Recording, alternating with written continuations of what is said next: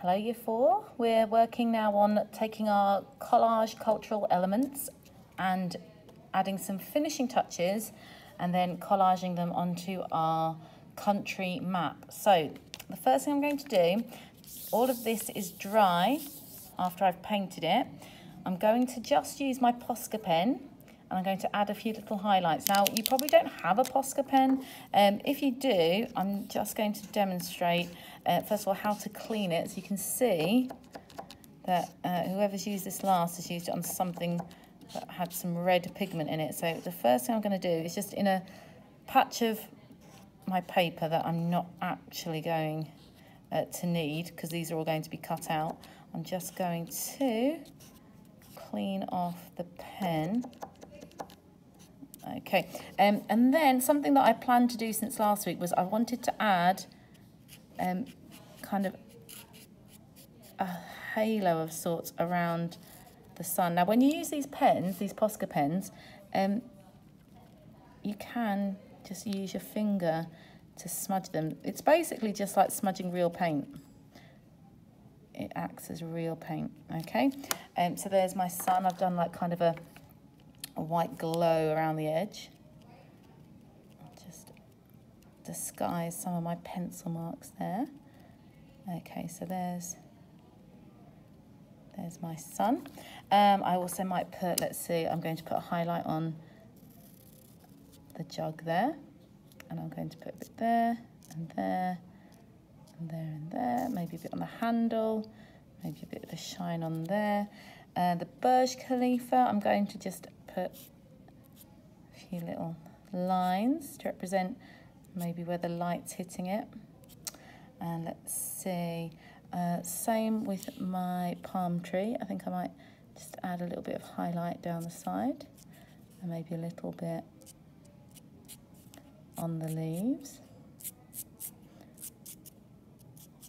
And then the camel, maybe a little bit of a highlight there on his hump there. Okay, so those are my little highlights. Now, the next thing I'm going to do is use a black fine line pen. I will provide uh, fine line pens for those in school.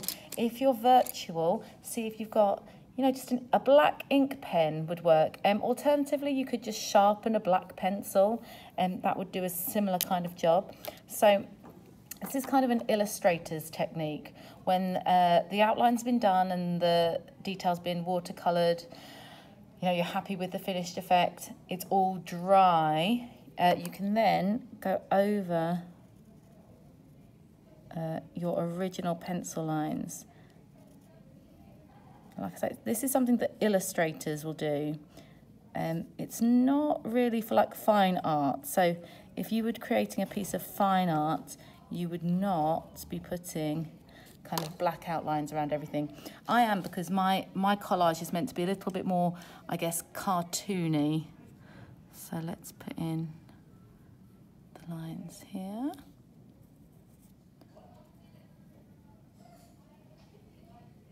Okay.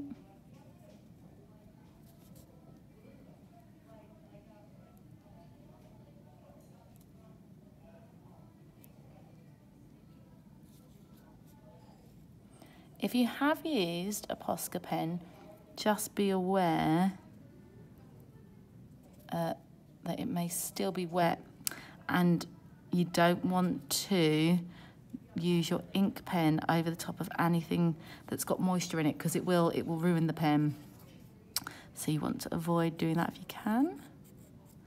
So here's my palm tree leaves. I'm just going to put in my little texture marks move that there. Okay.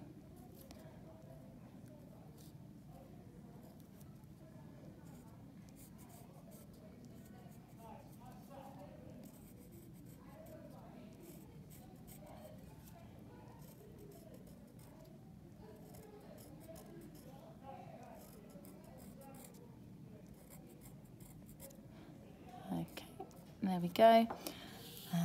Let's move on to this here. So just careful I don't smudge any paint that might not be quite dry yet.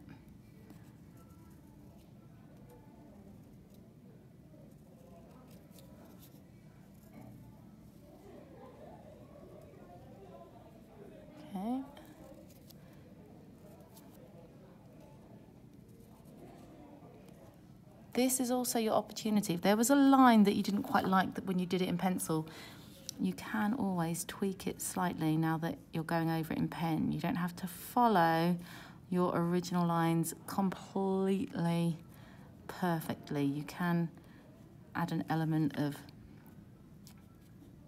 freestyling to this stage.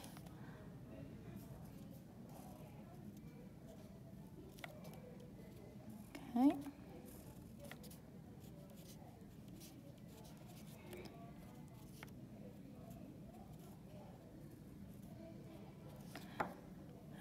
Okay, and then let's just do the flag. Now you might want to, on your flag, um, do some nice typography and write the name of your country. So for example, I might, over the top of this, before I fill in any more lines, do U A E. And then I'm just going to thicken up my lettering so that it stands out on the background. If you do do lettering, I wouldn't recommend using pen behind it because you'll kind of overwhelm and overpower the, the writing and it might make that difficult to read.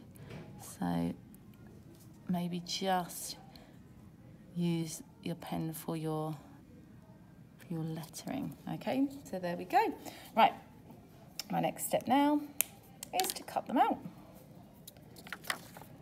I always recommend if you've got lots of elements to cut out, just cutting them into smaller chunks. And it just makes them easier to manipulate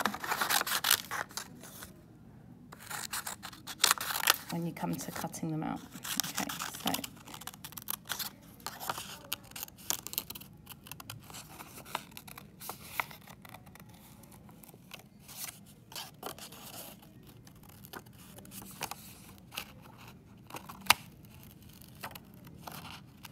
Now once these are cut out, we are going to be placing them onto our map paper. So you might want to be thinking about um, object placement. I would play around with a few different combinations before I commit to gluing it down. Uh, don't just glue them down as you go, cut them all out first so you can see full effect when you try, moving them around, trying them in different positions on the final page. Um, and take your time with cutting. It's not a race. And you don't want to accidentally chop bits of your hard work up because you weren't taking your time. So as you're cutting,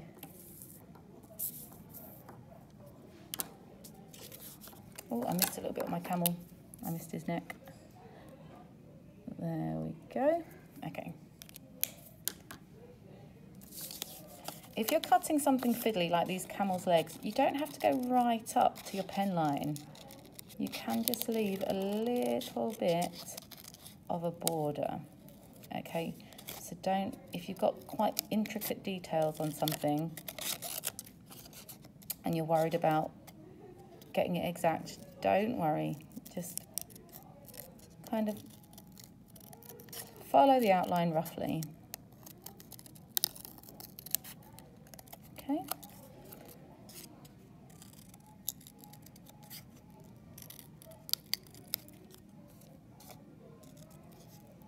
So I'm literally just cutting like a triangle out between the legs. I'm not cutting right up to the detail of like the joints. I'm just cutting kind of almost up to the edge, but not quite. Okay. And then again here, I'm just cutting a triangle to show the gap between the front and back legs. Okay, so I'm starting to get my little collection here. Just got a few more things to cut out.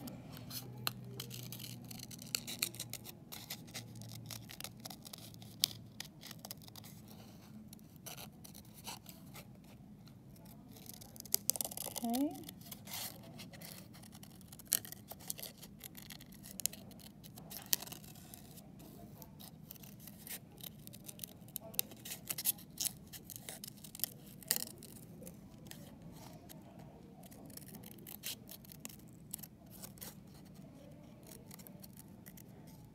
Now, if you've got time and you've got something like a jug that needs a hole through it, I would, I would try and take the time because it, it will look a bit nicer if you've removed the negative space.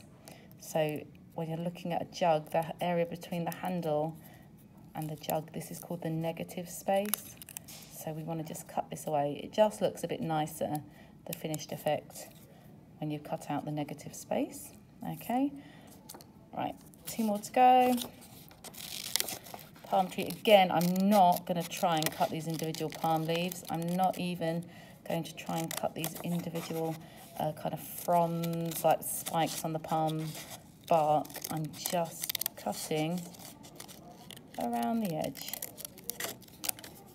Okay, so no need for snipping individual uh, palm leaves because you'll be there all day and you'll probably end up cutting a branch off. So just cutting around it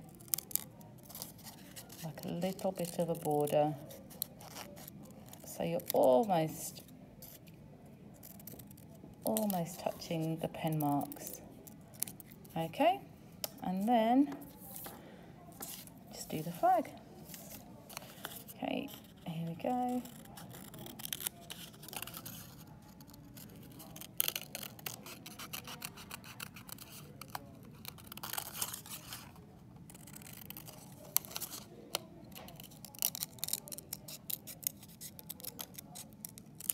There we go. So these are all my cultural elements that I've made. Here's my map. So I'm going to I'm going to think about my placement before I, I glue down. So I feel like maybe the flag and the name could go at the top in the middle. Um, now this yellow kind of gets a bit camouflaged by the yellow background, so I might put this maybe with a blue background. Uh, I've got my Burj Khalifa here.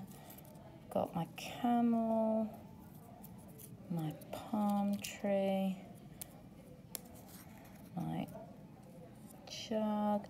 So, got to have a think about, now I don't like this here because it's really big and despite the fact it camouflages, I'm thinking I might pop it there because the black outline does make it uh, stand out. One of the things you have to think about in art is, is design, and part of design is balance. And if things feel off balance, um, see, I might put the camel that actually in the country.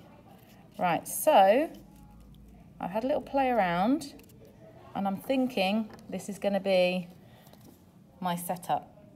So once you've outlined, cut out, had a little design project where you've manipulated the pictures into, into different spaces and you're happy, you're then going to glue.